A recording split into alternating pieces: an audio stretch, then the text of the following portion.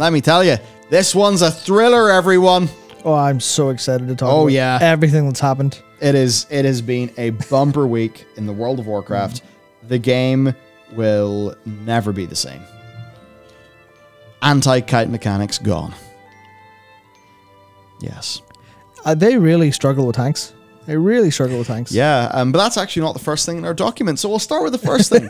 uh, right. Do you want a free faction change? Because you might be able to get one if you invite your friends back to World of Warcraft. They've been sending out this promo here.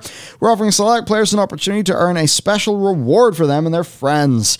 Uh, we know every hero needs a little encouragement getting back into the action. So, prospective marketer. Through June 21st, we'll be offering Slack players a faction change when they invite an eligible friend back to World of Warcraft. To ensure everyone has the opportunity to play together and try out cross faction instances, up to five eligible friends invited back will be awarded 30 days of game time.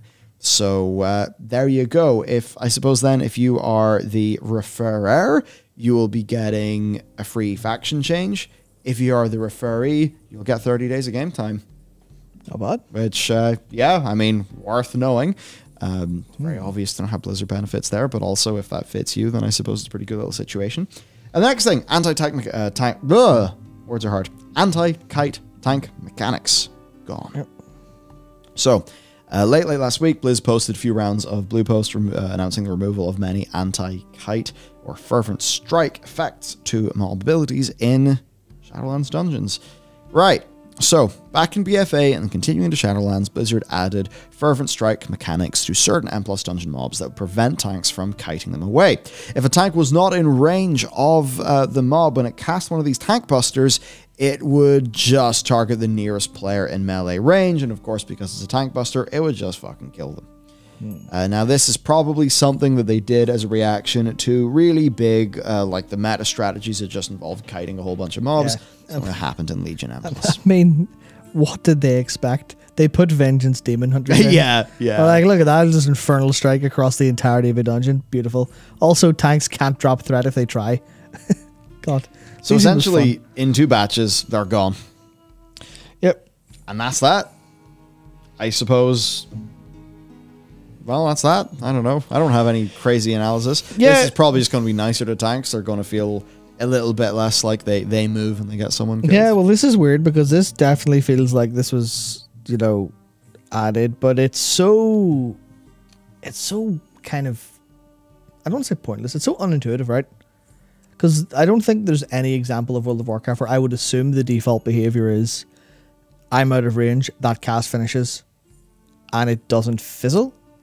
Because Yeah. that's obviously the default thing, but then that's abusive, and that's kind of that weird thing of, tagging is just a really super weird concept.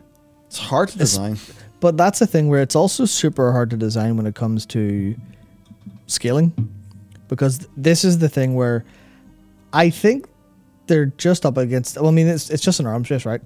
That's always the point for this like super high scaling, where it is literally just, oh, this is really uh this is impossibly hard.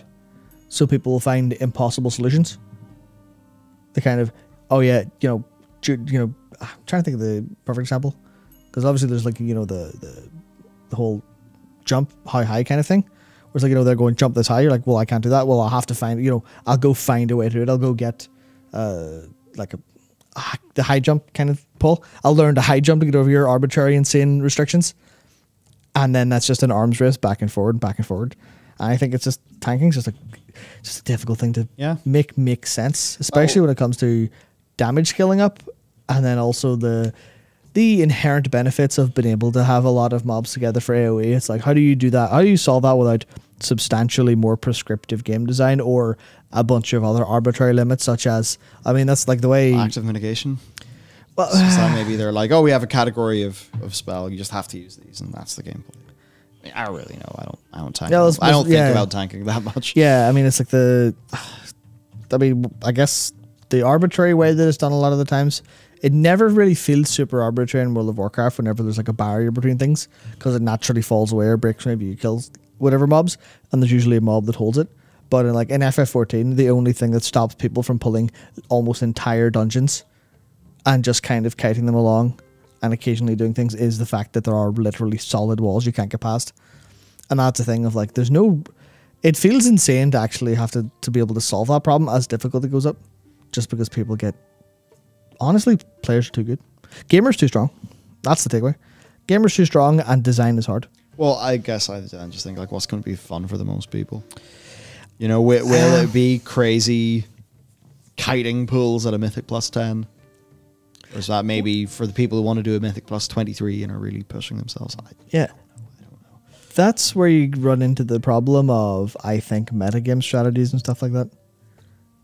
It's that whole it's that whole thing of hey, playing the way it has the most fun. Oh wait, you're a goal oriented, uh, achievement oriented gamer.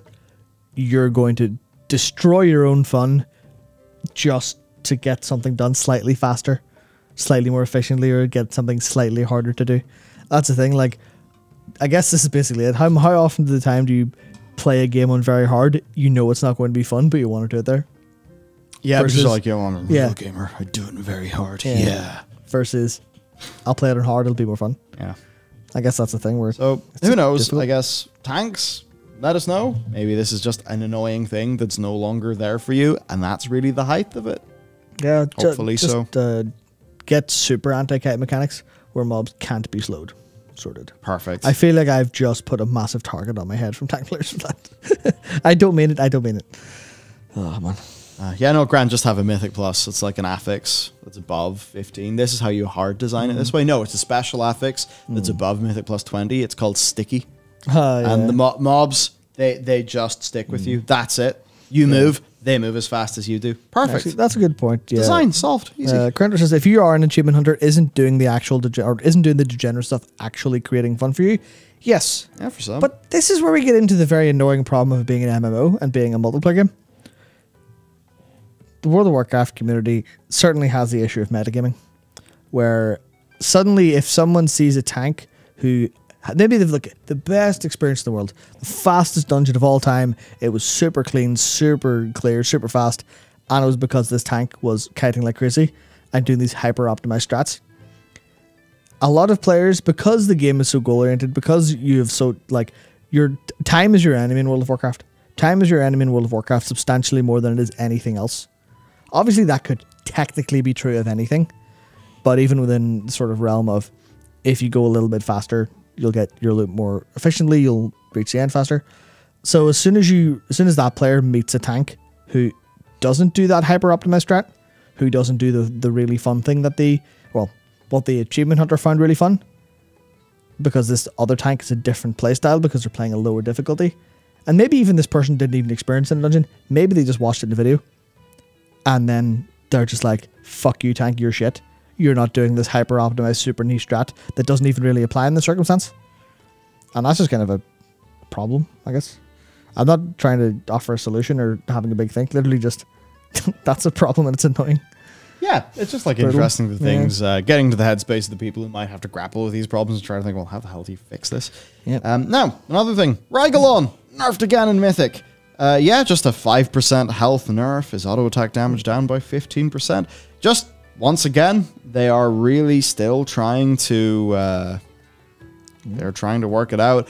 Uh, I mean, we do have a thinking face uh, from Dakor, but he does end in his little, uh, you know, in the thought box with, man, I'd love to see all the internal data they have for raid clear rates and progression over time because it's clearly informing all of these. That's exactly it. We may, uh, it's, you know, it's very easy to have zero skin in this game, not being Mythic Raiders, and, uh, you know, grandstand about the moving of the goalposts. But what numbers do they have? What do they see? We don't know. And uh, maybe the numbers they're seeing are spooking them a bit. Maybe you know, they just have heuristics. Maybe they have some benchmarks. You know, by 10 weeks into a tier, normally this many mythic guilds are still going, or this many have dropped out. And maybe they're looking at those numbers and people are just dropping off like flies. So they feel like they have to do this. Yeah, Right. Full on just Blizzard. What do your dev eyes see tier stuff like? Yeah, yeah, it's it would be interesting to know. Uh, they, they, have, they have already talked about their philosophies with this. It's just we don't know the data that is informing that philosophical Is decision. is it really that bad? Like, but I guess that's the point. Who knows, Must, it must be. Must be. Yeah. Uh, I guess if we had weekly parse rates, we could compare Mythic this many weeks into this tier with some other tiers. That might be an interesting analysis to do someday. Uh, now then, dungeon nerfs. Another just a whole bunch of them. Don't think I need to go into all of the uh, specifics. Well, actually, no, we'll, we'll see. Dark Horse, he's called out the important things. So they nerfed the castigate, uh, castigate damage on Tarvold, uh, and they nerfed Agonize from uh, in Sanguine Depths. Apparently, these are very welcome on Grievous uh, or Grievous and Tyrannical weeks. Good. Uh, health and damage reduction to the three mini bosses at the end of Spires of Ascension before Oh, the last yeah. boss. Fuck cool. them. Yeah, that's no. I'll, I'll take that. Uh, the absorb shield on Nalthor, the Rhyme uh, Rimebinder, the last boss of Necrotic Wake, atop the Maldraxxi Necropolis. That's another great change apparently because during tyrannical weeks, and especially if you didn't properly plan out your Kyrian weapon and CD usage, uh, then the boss could just take ages to do. But not only that, but while the shield was up, the whole group is taking damage and increases over time. So, uh, ah, yes, you're trucked. The more you're trucked Yeah, hit like a truck. Trucked for now. or, or ducked. Yeah. I actually don't think. I actually don't think he just meant fucked. I Oh. think he actually meant trucked as in hit like a truck. Damn, there you Yeah. go. Yeah, I suppose that does make sense for how, how much would stack up. Uh, the other thing, um, no doubt you're aware of this. Um, Yes. Got a video coming out on it pretty soon. Basically, Venari, you end up getting in-game mail. You also that gift. You do actually get that gift. Basically, turns out she ended up working with Zolotarios or Zolartios, whatever the eternal uh, traveler guy that appeared as a part of the Shadowlands pre-order. Oh my god, they're locking lore content behind big Oh pre-orders. Um, Bastards. so yeah, then you know you get this little device. You can talk to it, and it asks you some questions. Uh, there's voice dialogue, like a, fortune telling ball. Don't Yeah. let me keep you. I suppose you have uh, something more important to do than saving reality itself. There's a mystery to unravel. Perhaps you will not fail me yet. I wonder what she's talking about. Just a bunch of those. Yeah, it's just uh, then a little archive to replay her rules. And uh, It is full on, straight up. We paid this voice actor too much. People like these lines too much. Here's a tour. You can listen to them anytime you want. Yeah. Which you know what? Fair enough. Yeah, Good we stuff. bit of flavor. So uh, nice. I'll have a full lore sort of breakdown. and Also, just trying to give you more of a storytelling of the whole thing, not just the new stuff, but also the general Venari stuff, because it's way more interesting than it is in face value, and you actually sit down and think about it. So I'll have that up uh, decently soon. Next, then, uh, I don't really know how much we should go into this because I feel like this may just be something, a topic for the people who are, you know, high end Mythic Plus tanks, and they're maybe not the people who are watching our content. But basically, the Codex of the first technique, um, it was heavily nerfed, then partially reverted, and the issue there. Um, essentially it used to be super powerful. Then they made it like scale or whatever and it was basically useless or like it didn't scale. Then they fixed it and made it so it scaled with item level and suddenly it was good again. Uh, but this uh, can you know mess up people's uh, spending of resources and planning for their character. That's kind of unfortunate and i think they just don't really feel like the uh, you know like some of these were undocumented. Maybe people don't feel like the communication was good enough Yeah. because it is impacting their gearing decisions. Yeah, well, that's exactly the problem, right? Where it's like, especially this is kind of it feels the same to me as all of the mythic nerfs, where it's like the changes just continually happen, and there's so little communication, especially with the high end community, that should you know what is what exactly is stopping the person who's doing this nerf just going, hey, we're thinking of nerfing this because it's a bit strong, should be, and getting a little bit of community feedback and then been able to you know delve into that. I guess that's that's a case of that's you know they probably just did this quick. Going oh that you know scanning over. Oh that doesn't seem right. I'll fix that. yeah thing thing Yeah, broken uh, yeah, fix Yeah, thing broken fix as opposed to this is a design decision that is impact that is like impact Yeah. on stuff. But that's a thing of it's just like that's a lot of time. That's a lot of effort. That's an item that people thought. And it's like the rules it's like I keep saying, when it comes to the nurse and stuff, it's like just you can see the Wizard of Oz behind the curtain. So you very much are aware you're not in like the belief that this is like a meaningful system anymore because the floor has been pulled out from under you occasionally. And it happens just enough that people are like, oh, fuck. And it's that it's that slow death of for everyone who gets a trinket nerfed that they farm for, what are the odds then? Well, I'm not fucking playing this anymore. Fuck, I spent I spent a week trying to get that trinket. I didn't fucking try. I'm out of here because I know I would have that experience for sure. Absolutely, that shit is extremely frustrating, especially when like the, you know, here's a goal. Oh, the goal's meaningless. It's almost like you're on this fucking grand Indiana Jones treasure hunt. You get to the end, you lift the treasure, and it crumbles in your hand. You're like, sweet, wonderful. Glad I did all that then. It's like, was it fun? Maybe, but I did it for the goal. So, especially for goal oriented players, it's just kind of, yeah, it's just pulled out from underneath them. So, communication could be a little bit better there. A little bit better. And also just, oh, it's, I guess, a different flavor of the fun place as well. It's like, why are you not buff instead of nerf? It's like they're just making kind of poor decisions generally. Unfortunate. Unfortunate. Interesting. I think it's something that probably a small subset of a small subset, but uh, well, it is.